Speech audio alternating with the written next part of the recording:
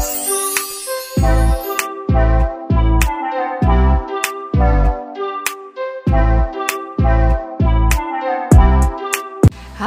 teman-teman semua, kali ini aku mau tunjukin mainan baruku. Nah, untuk kali ini mohon maaf ya, aku nggak bisa kasih link di mana teman-teman bisa mendapatkan semua ini. Hanya ada sebagian saja yang nanti aku kasih link di bagian deskripsi ya. Karena semua ini sudah termasuk barang langka ya di pasaran. Nah, karena langka, jadi aku seneng ya, makanya bikin video ini. Aku tunjukin ya apa aja semua ini. Semua alat masak yang ada di sini berbahan enamel ya. Nah, mereka adalah produk dari Chefina. Chefina itu adalah produk dari Kedawung Group. Nah, seperti ini. Semuanya bisa dipakai di atas kompor kecuali tutup plastiknya ya. Yang pertama aku tunjukkan di sini adalah stock pot. Stock pot ini adalah panci kaldu ya. Ini diameternya sendiri adalah 16 cm. Memang kecil, tapi bagiku biar kecil muat banyak ya. Nah, seperti ini, tinggi. Di bawahnya ada tulisan. Nah, ini aku putar ya. Nah, ini adalah uh, Sherry Chefina I Love Kitchen. Nah, seperti ini. Bagian dalamnya putih, Lalu bagian tepinya ini nggak ada listnya ya. Nah ini yang aku suka. Biasanya kalau panci-panci enamel itu suka ada listnya seperti ini. Nah ini biasanya suka menangkap kotoran ya. Nanti aku jelaskan di akhir. Berikutnya ini adalah Dutch oven. Nah, seperti fung namanya, fungsinya untuk diletakkan di dalam oven ya. Biasanya untuk membuat roti-roti yang uh, ala-ala Amerika atau bakery ya. Nah, seperti ini lumayan dalam. Diameternya sendiri sama 16 cm, jadi ini imut banget ya. Untuk menyajikan di meja makan seperti sup-sup porsi sedikit juga lucu ya. Nah, ini juga datang dengan uh, tutupnya. Selanjutnya ada bowl, ini diameternya juga sama 16 cm. Ini bisa untuk menyajikan juga, untuk menyimpan di kulkas juga bisa ya, menyajikan makanan dan menyimpan makanan. Nah, ini dilengkapi dengan tutup plastik seperti ini. Tutupnya lumayan tebal ya dibanding uh, kanisternya, nanti aku lihatkan. Nah, seperti ini. Memang resikonya kalau uh, perubahan temperatur biasanya suka membuat tutupnya ini mudah pecah ya. Jadi agak hati-hati aja memakainya. Tapi kalau setebal ini biasanya lebih awet. Yang ini lucu banget ya. Ini saucepan. Nah, seperti namanya bisa dibuat untuk membuat uh, saus atau masakan-masakan dibuat menggoreng pun sebenarnya semua bisa ya. Jadi ini multifungsi sebenarnya. Nah ini hanya namanya saja saucepan dilengkapi dengan tutup juga diameter 16 cm juga. Nah lucu banget kan? Yang ini yang aku bilang 3 pieces canister nah ini canister 3 in 1 ya. Ini untuk menyimpan-nyimpan makanan atau untuk memasak juga bisa. Seperti aku bilang ya semuanya bisa dipakai di atas kompor kecuali tutup plastiknya.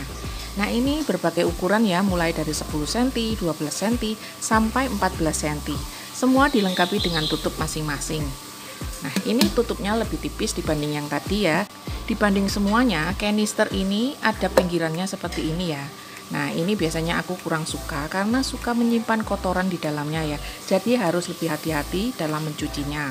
Kalau mencuci seperti ini, tidak boleh ditiriskan dengan cara dibalik ya. Harus menghadap ke atas. Jadi kotoran itu tidak terperangkap di dalam listnya.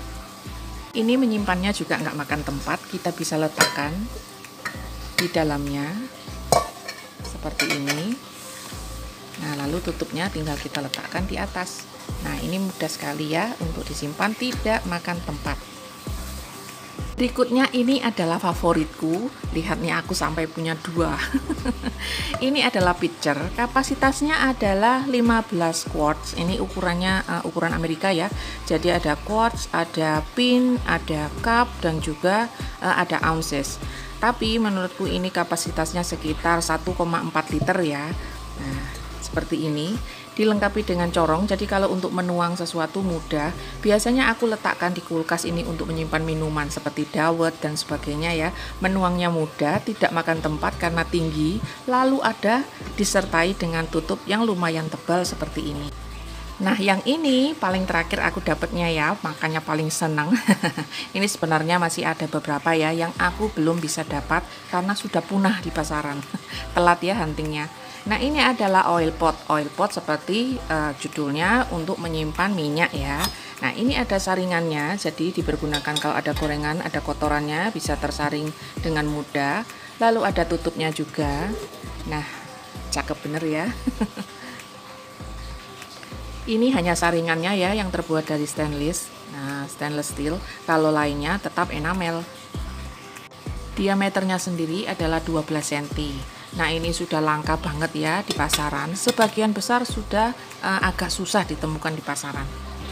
Berikutnya ini adalah tempura nabi. Ini panci untuk menggoreng gorengan ya. Ini ada tirisannya juga.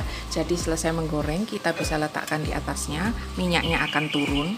Ini bisa dipakai juga untuk memasak ya. Oh ini muat banyak ini karena besar sekali dan juga dalam ya atau tinggi.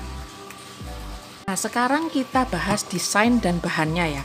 Ini bahannya sama-sama enamel ya, seperti panciku yang di belakang. Tapi produksi Sevina ini lumayan tebal ya. Nah, seperti ini. Dia juga cantik, bentuknya itu membulat, jadi seperti solid ya, lebih kokoh. Nah, seperti ini, ujungnya juga dilipat seperti ini. Jadi kesannya lebih berat, lebih kokoh, lebih tebal. Sedangkan kalau panci yang seperti ini bahannya memang lebih tipis ya, lebih rikih, tapi sesuai harga ya. Ini ada listnya, ini aku nggak terlalu suka. Nah, seperti yang aku bilang, kalau menghindari listnya ini kotor, usahakan kalau meniriskan jangan dibalik seperti ini ya. Nanti kotorannya akan mengumpul di bagian listnya, jadi harus dihadapkan ke atas supaya dia turun. Kalau seandainya sudah kotor, teman-teman silakan rendam dalam air panas ya. Nanti kotoran di dalamnya itu akan larut. Nah, sesudahnya bisa dicuci. Pastikan ditiriskan dengan betul ya, supaya tidak ada air yang terjebak di dalamnya dan menimbulkan jamur. Kekurangan dari enamel sama seperti alat masak lapisan lainnya seperti teflon dan lain sebagainya. Ini bisa saja lapisannya rusak ya. Nah, seperti ini. Tapi karena lapisan enamel ini adalah lapisan yang keras, memang agak susah, kecuali dia terbentur dengan keras. Jadi kalau teman-teman pakai alat masak, usahakan pakai yang silikon ya, atau yang empuk dan tidak melukai permukaannya. Nah, seperti ini teman-teman bisa lihat, ini aku pakai seperti sendok besi dan sebagainya yang berbahan stainless biasanya suka melukai bagian dasarnya. Nah, ini mudah pencuciannya ya, bisa menggunakan sabut besi atau sabut uh, yang hijau itu semua aman. Nah, pokoknya dia jangan dibentur-benturkan. Jadi kalau pakai seperti sutil, jangan dibenturkan seperti ini ya. Nanti bisa menimbulkan penyok-penyok dan nanti akhirnya akan melukai lapisannya. Nah, seperti ini. Ini sudah lama ya, biasanya terpengaruh oleh warna masakan. Sama seperti alat masak lainnya. Nah, ini bisa ternoda dan juga mengelupas. Nah, seperti ini nih kalau mengelupas. Nah, ini aku ambilkan contoh jadul ya, yang sudah nggak dipakai. Nah, ini akan terkelupas seperti ini, terlihat bagian dalamnya. Bagian dalamnya itu besi ya, jadi enamel adalah lapisannya. Kalau seperti ini, pada akhirnya nanti akan berkarat lalu berlubang. Kalau terjadi pada wajan, ya bocor. Alat masak yang tepat untuk enamel adalah silikon menurut aku ya. Karena silikon ini selain dia tidak menimbulkan bunyi yang terlalu nyaring, nah seperti ini ya. Beda dengan besi, kalau besi kita letakkan Nah, bunyinya nyaring kan. Jadi usahakan pakai alat masak itu yang empuk. Jadi tidak menimbulkan bunyi. Kayu aja lumayan keras loh. Nah, bisa gunakan seperti ini untuk mengaduk. Intinya gunakan peralatan silikon kalau bisa. Kalau nggak ada ya nggak apa-apa. Hati-hati aja ya. Seperti aku bilang, yang besi ini bisa melukai lapisannya. Jadi jangan diketuk-ketuk atau dibaret-baretkan seperti ini ya. Pokoknya boleh pakai asal hati-hati. Oh iya, usahakan kalau punya enamel itu jangan sampai jatuh ya. Karena jatuh itu sama dengan diketuk-ketuk, jadi akan menimbulkan goresan yang akhirnya bisa membuatnya karatan, berlubang, dan sejenisnya. Karena seri ini sudah mulai langka di pasaran, untuk harganya aku nggak bisa jamin ya semua bakal murah, karena biasa seller itu sudah mainkan harga kalau pasarannya sudah langka. Nah, ini aku sebutkan ya berapa aku dapat untuk masing-masingnya. Karena aku beli itu di berbagai tempat, namanya saja juga berburu.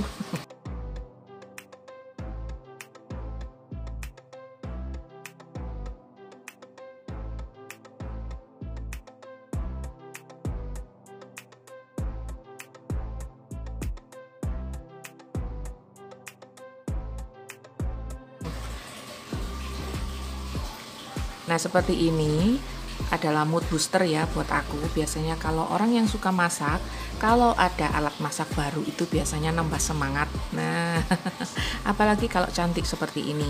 Biasanya aku nggak suka uh, warna-warna ya dalam alat masak. Sukanya yang polos-polos putih-putih atau yang natural. Kali ini saja aku nggak bisa tolak pesonanya ya, karena cantik banget ini warnanya. Nah, seperti ini. Dibilang nyesel belinya, ya pasti enggak. Oke, sampai di sini ya pamer mainan baruku. Nah, semoga nanti ada tambahan lagi. Yang belum aku dapatkan adalah frying pan. Entah ada apa lagi ya, aku belum dapat serinya secara lengkap. Tapi untuk saat ini aku sudah bahagia dengan seri yang ada ini. Nah, biasanya akan ada tulisan ini di bawahnya. Oke, sampai di sini ya pamer mainan baruku. Semoga ini bisa jadi informasi yang informatif buat teman-teman. Sampai di sini dulu. Kalau suka videonya, jangan lupa like, share, dan subscribe ya. Jangan lupa komen juga kalau ada yang mau ditanya. Oke, sampai ketemu lagi. Bye.